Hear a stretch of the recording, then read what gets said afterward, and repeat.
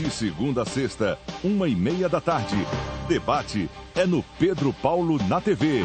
TV Nova Nordeste, a sua TV regional.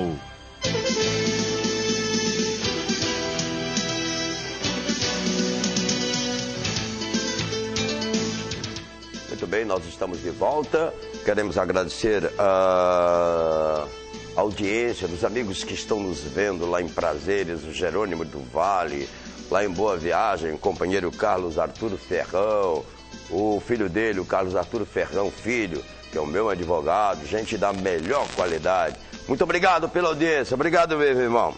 Ó, daqui a pouquinho o Pedro Paulo vai fazer o seu programa. Hoje ele vai falar sobre, deixa eu me ver aqui, cuidados necessários para o verão. Ô, oh, rapaz, olha, veio a calhar mesmo esse assunto. Até porque nós estamos tendo é, um verão tanto quanto atípico, né?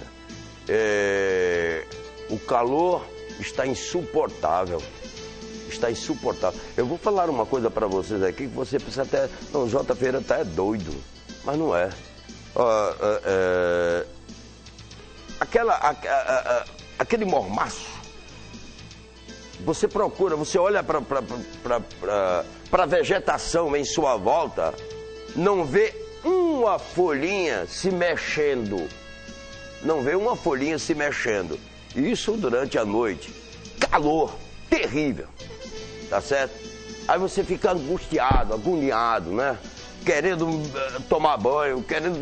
Há momentos assim que você tem vontade de mergulhar numa, numa, numa, numa, numa piscina de gelo. Bufo, porque você não aguenta o calor. Durante o dia, então, tá uma coisa terrível. A praia apinhada de gente. Quando você olha de longe assim, aí você vê aquele negócio, parece até que está fervendo. Calor imenso.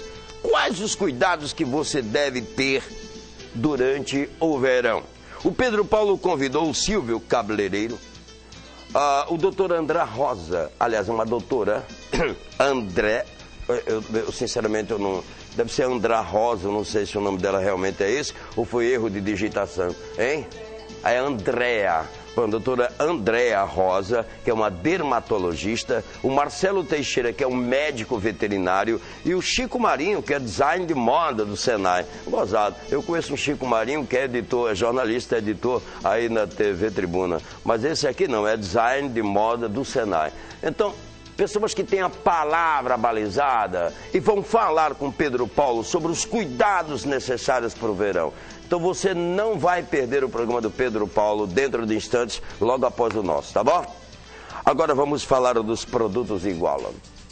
Ana, você certamente abriu o armário na sua casa, tirou ah, um desodorante. Ah, foi seu irmão?